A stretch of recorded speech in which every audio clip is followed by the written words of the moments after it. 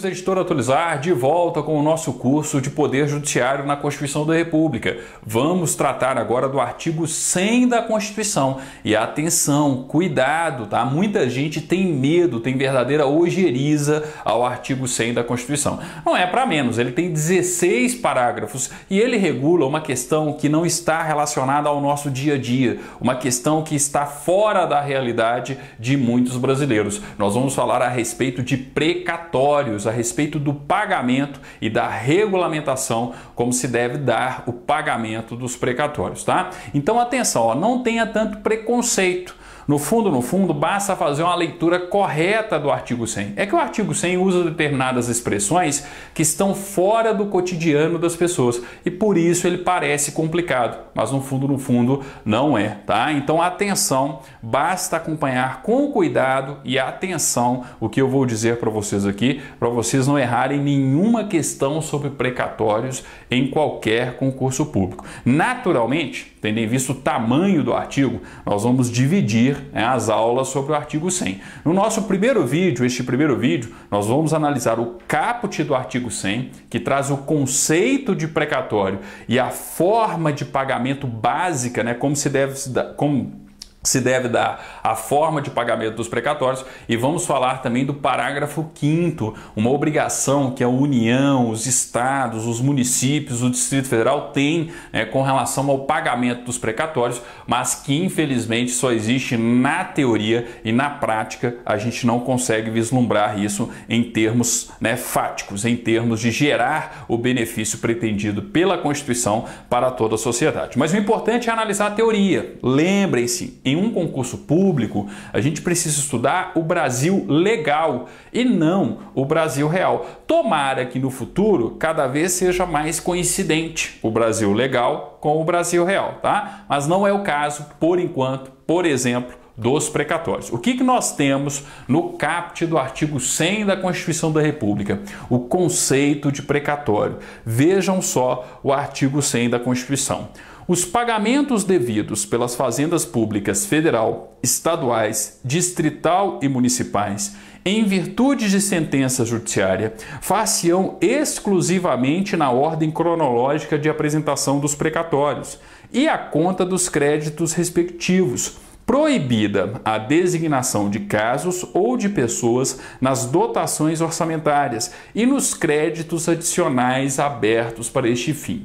Muita gente não entende nada a respeito do artigo 100, mas basta segmentar o artigo 100. Primeira questão de concurso. O que é um precatório? O artigo 100 responde. Iniciozinho do artigo 100, ó os pagamentos devidos pelas fazendas públicas federal, estadual, distrital e municipais em virtude de sentença judiciária. Significa o seguinte, gente: alguém entrou na justiça contra o poder público, ou contra a União, ou contra os estados, ou contra um determinado município, Distrito Federal, ganhou, mas ainda não levou. Ganhou, na verdade, um pedaço de papel, um título chamado precatório e que representa a dívida que o poder público, que o ente, né, ou a União, ou um estado, ou, um distrito, ou o Distrito Federal, ou um município, tem com aquela pessoa. Então, o que, que é um precatório? Um precatório é um título judicial devido que comprova a dívida que a União, ou um Estado,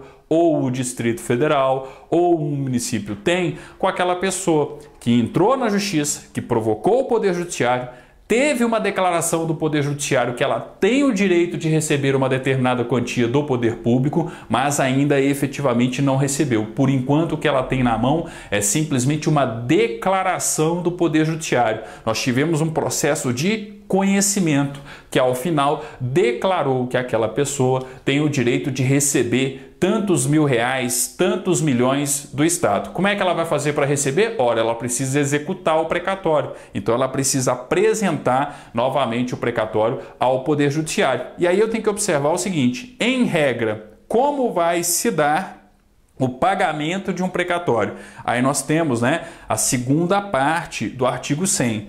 Os pagamentos devidos pelas fazendas públicas federal, estaduais, distritais e municipais, em virtude de sentença judiciária, ou seja, os pagamentos dos precatórios far-se-ão exclusivamente na ordem cronológica de apresentação dos precatórios e a conta dos créditos respectivos. Então eu tenho que respeitar uma fila, uma ordem cronológica de apresentação dos, meu, dos meus precatórios. Se eu tive a declaração por parte do Poder Judiciário, ah, o governo do estado me deve 10 milhões de reais e o meu precatório é apresentado, não necessariamente o meu precatório vai ser o primeiro da fila. Né? Provavelmente existem outros precatórios a serem pagos e que já foram apresentados anteriormente. Então eu não posso furar a fila, eu tenho que respeitar. O pagamento dos precatórios precisa ser feito de acordo com a ordem cronológica de apresentação dos precatórios. Então nada de furar a fila, eu tenho que aguardar o momento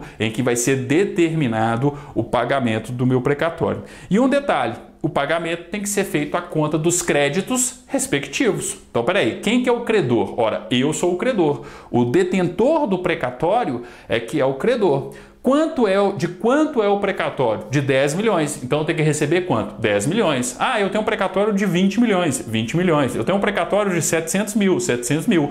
Ou seja, o pagamento tem que ser feito na totalidade do valor de face presente no precatório eu não posso fazer o parcelamento. A União, o Estado, o Distrito Federal, o município, não pode chegar para mim, ó, vamos parcelar em 36 vezes, tá? Vamos pegar esse seu precatório de 70 milhões de reais, de 20 milhões de reais, de 10 milhões, de 800 mil, enfim, qualquer que seja o valor do precatório e parcelar o pagamento desse precatório. O pagamento dos precatórios, ele precisa ser feito à conta dos créditos respectivos. Qual que é o valor de face do precatório? 10 milhões. Então eu vou receber 10 milhões mais a correção do período. Ah, 20 milhões. 20 milhões mais a correção do período. E assim por diante. Então percebam que no meio do artigo 100, nós temos essa regra geral, esse princípio, na verdade, geral com relação ao pagamento dos precatórios. O pagamento dos precatórios, né, os pagamentos precatórios, far-se-ão exclusivamente na ordem cronológica de apresentação dos precatórios e a conta dos créditos respectivos. Última parte do caput do artigo 100 proibida a designação de casos ou de pessoas nas dotações orçamentárias e nos créditos adicionais abertos para este fim. Então, o que é preciso ser observado aqui? Seguinte, ó, se eu tenho um precatório para receber, a União me deve, o Estado me deve, o Distrito Federal me deve, um município me deve, tá? Naturalmente, o que, que o Estado, a União, o Distrito Federal ou o município precisa fazer na sua proposta orçamentária? Ora, colocar o valor para o pagamento do precatório. Só que não existe só o meu precatório, existem diversos outros precatórios a serem pagos. O que, que, não pode acontecer no orçamento do ente devedor? Eu não posso ter uma discriminação. Ah, 10 milhões para o pagamento da empresa do professor Emerson, 20 milhões para o pagamento da empresa Y, 700 mil reais para o pagamento do fulano de tal. Não, o Estado, o ente devedor, precisa somar todos os precatórios que foram apresentados, e inclusive todos os precatórios que sejam apresentados até o, até o dia 1 de julho. A gente vai ver isso no parágrafo 5 daqui a pouquinho, tá? Tem que somar todos os precatórios apresentados e colocar o valor global na proposta orçamentária, que vai se tornar o orçamento a ser executado no ano seguinte. Então eu não posso ter a especificação no orçamento é, é, qual é o pagamento que vai ser feito. Quem é o detentor do precatório? O artigo 100 da Constituição ele é claríssimo proibida a designação de casos ou de pessoas nas dotações orçamentárias e nos créditos abertos para este fim. Então, seja no orçamento em si, seja em suplementações orçamentárias ou em créditos abertos, né? dinheiro a mais que vem para o Estado, especificamente para o pagamento de precatórios, ok? Atenção, marquem o artigo 100 da Constituição da República. O mais comum é nós termos um questionamento ou sobre o conceito de precatório ou então sobre a forma de pagamento. Respeitar a ordem cronológica e respeitar também o valor de face dos precatórios. Então, atenção, ó, o pagamento tem que ser feito na ordem cronológica de apresentação dos precatórios e a conta dos créditos respectivos, tá? A parte final aí do artigo 100 praticamente não é cobrada. Bem, e para a gente dar continuidade, vocês entenderem ainda mais como funciona o pagamento de um precatório, nós vamos para a teoria do parágrafo 5 Depois eu retorno nos parágrafos 1 2 3 e 4 tá? Mas o que, que eu quero chamar a atenção no parágrafo 5 e inclusive ele já foi objeto de questões de concurso, podem marcar o parágrafo 5 tá? É uma regra, infelizmente, muito mais teórica do que prática, tá? Na prática, somente a União consegue cumprir o disposto no parágrafo 5 Nenhum outro estado consegue e grande parte dos municípios também não, o que é uma pena, o que faz que o parágrafo 5 fique muito mais no plano da teoria do que no plano prático, tá? Mas pensem na questão teórica. Vamos estudar o Brasil legal e não o Brasil real. O que, que nós temos no parágrafo 5? Vejam só. É obrigatória a inclusão no orçamento das entidades de direito público de verba necessária ao pagamento de seus débitos, oriundos de sentenças judiciárias transitadas em julgado constantes de precatórios judiciários, apresentados até o dia 1 de julho, fazendo-se o pagamento até o final do exercício seguinte, que terão seus valores atualizados monetariamente. Atenção, vou ler novamente, ó é obrigatória a inclusão no orçamento das entidades de direito público de verba necessária ao pagamento de seus débitos, oriundos de sentenças transitadas em julgado, constantes de precatórios judiciários apresentados até o dia 1 de julho, fazendo-se o pagamento até o final do exercício seguinte, quando terão seus valores atualizados monetariamente. Para vocês entenderem, tá? Eu vou exemplificar da seguinte maneira. Imaginem que eu tenho uma construtora. Então eu tenho a construtora fulano de tal, tá? Então aí eu tenho uma construtora e resolvo participar de uma licitação do governo do estado para a construção de uma ponte. Então a minha construtora vai lá, participa da licitação para a construção de uma ponte, tá? E aí eu estou lembrando que é uma obra estadual, quem está contratando o serviço é o governo do estado. Participo da licitação e ganho a licitação, tá? Resultado: vai ser celebrado um contrato administrativo e o valor da obra como um todo é um valor de 30 milhões de reais. A minha construtora cumpre a risca com o contrato.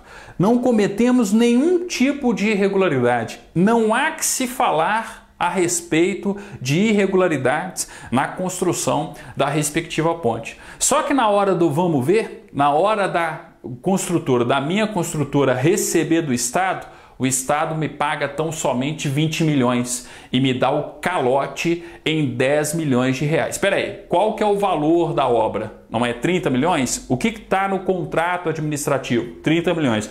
Houve algum tipo de irregularidade? Não. Então a minha empresa, a minha construtora fulano de tal, tem que receber quanto? Tem que receber 30 milhões. Mas isso não aconteceu na prática. Eu recebi tão somente 20 milhões. Espera aí, o direito da minha empresa foi lesado? Foi. O que, que eu vou fazer? Provocar o Poder Judiciário. Quando eu tenho uma lesão ou uma ameaça de lesão a direito, o que, que a pessoa prejudicada, seja física ou jurídica, pode fazer? Provocar o Poder Judiciário. Princípio constitucional de acesso à justiça. Provoca o Poder Judiciário. Uns 10 anos depois, né, porque a gente tem toda a morosidade do Poder Judiciário, sai a decisão do Poder Judiciário, falando o seguinte: ó, você está certo, você tem razão você tem o direito de receber mais 10 milhões de reais e a correção do período. Significa que naquele dia em que sai a decisão judicial de forma definitiva, vai ter 10 milhões de reais mais a correção do período na conta da minha empresa? Não. Significa que eu tenho um precatório, uma declaração do Poder Judiciário dizendo que o governo do Estado me deve 10 milhões de reais mais a correção do período. Então, agora o que eu preciso fazer? Eu preciso apresentar o precatório para que o Poder Judiciário determine o pagamento. Ou seja, nós vamos para o processo de execução do título, nós vamos para o processo de execução de modo a garantir o pagamento devido. Eu sou o credor e o devedor é o governo do Estado. E aí eu tenho que observar a regra do parágrafo 5. O que, que o parágrafo 5 nos diz? Que qualquer ente, seja a União, os estados, o Distrito Federal, um município, está obrigado a somar todos os precatórios que foram apresentado, apresentados até o dia 1 de julho, de modo que esses precatórios entrem na proposta orçamentária e estejam arrolados no orçamento do ano seguinte e possam ser liquidados, possam ser pagos no ano seguinte, tá? Então, exemplificando o seguinte, ó, quem que determina o pagamento do precatório? Quem organiza a fila e determina o pagamento dos precatórios é o Poder Judiciário. Deixa eu colocar um pouquinho mais acima aqui, ó, para ter mais espaço para esquematizar para vocês, tá? Então, ó, eu tenho aqui o Poder Judiciário. Atenção, não é o Poder Judiciário quem deve. A função do Poder Judiciário é organizar a fila dos pagamentos, tá? organizar a fila dos precatórios e determinar os respectivos pagamentos, de acordo com a ordem cronológica de apresentação dos precatórios. Quem deve, gente, é o governo do estado. No meu exemplo, quem deve é o governo do estado. E aí o seguinte, ó, a minha empresa tem um precatório de 10 milhões de reais para receber eu tenho que apresentar o precatório ao organizador da fila, que é o Poder Judiciário, tá? Então vamos supor, apresentei o meu precatório, só que na hora que eu chego ali para apresentar o meu precatório, existem outros precatórios na frente do precatório da minha empresa. Eu tenho que respeitar a fila, eu tenho que respeitar a ordem cronológica de apresentação dos precatórios. Então vamos supor o seguinte: antes do meu precatório de 10 milhões, tem um de uma outra empresa de 20 milhões de reais, tá? Ah, depois eu tenho um precatório ali de 15 milhões de reais, também de uma outra empresa. Depois, um de 5 milhões de reais, tá? E finalmente, vamos supor que eu dei muita sorte, tá? Porque na prática não é isso que acontece, tá? E eu apresentei o meu precatório de 10 milhões de reais, ou seja, o meu precatório de 10 milhões de reais é o quarto na fila. E vamos supor que as finanças desse estado estejam tão boas, tá? Que ele só tem esses quatro precatórios para pagar. Ou seja, até o dia 1 do 7 daquele respectivo ano, somente foram apresentados os quatro precatórios. O que, que o governo do estado está obrigado a fazer na hora que ele elabora a sua proposta orçamentária? Ele está obrigado a destinar uma fatia da sua proposta orçamentária para o pagamento dos precatórios. E o que, que ele tem que fazer? Segundo né, o parágrafo 5 do artigo 100 da Constituição, o governo do estado está obrigado a somar todos os precatórios que foram apresentados até o dia 1 de julho. Opa, somando então, ó, 20 com 15, 35, né? Mais 5, 40 milhões. Mais 10, 50 milhões. Aí o que, que o governo do estado vai lá e faz? Destina 50 milhões de reais para o pagamento dos respectivos precatórios. O que, que vai acontecer com essa proposta orçamentária? Ela não vai ser aprovada e não vai virar o orçamento do ano seguinte? Então, necessariamente, o que, que vai acontecer no orçamento do ano seguinte? Nós vamos ter o pagamento dos precatórios. Então, o pagamento dos precatórios vai acontecer do dia 1 de janeiro até o dia 31 de dezembro no máximo, porque o dinheiro para o pagamento já está garantido no orçamento do ano seguinte, tá? E aí, quando o orçamento está liberado, quando eu chego né, na execução do orçamento, ou seja, quando eu estou no ano seguinte, o que, que o Poder Judiciário faz? O Poder Judiciário determina o pagamento. Então ele fala assim: ó, primeiro da fila, quem que é o primeiro da fila? Ah, é o precatório de 20 milhões.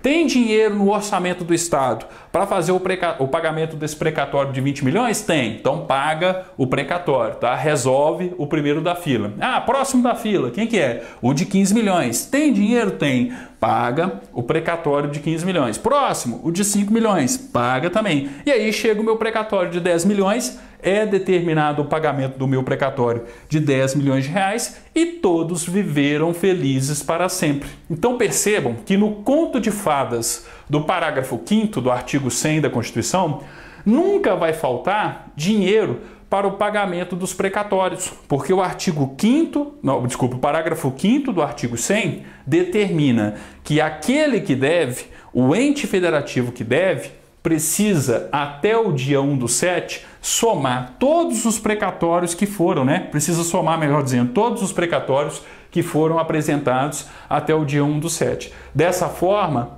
entra na proposta orçamentária que vira o orçamento do ano seguinte. Necessariamente no ano seguinte, nós teremos o pagamento dos precatórios e todos viverão felizes para sempre. Na prática, gente, não é isso que acontece, mas como eu disse, a prática não cai em concurso público. Mas só para efeitos de curiosidade, o que, que acontece na prática? Quando um Estado vai somar o valor de precatórios devidos até o dia 1 do 7, o montante da dívida é tão gigantesco que ele não consegue cumprir a regra do parágrafo 5 Ele consegue determinar, né, ele consegue ali ó, é, reservar uma parte do dinheiro necessário.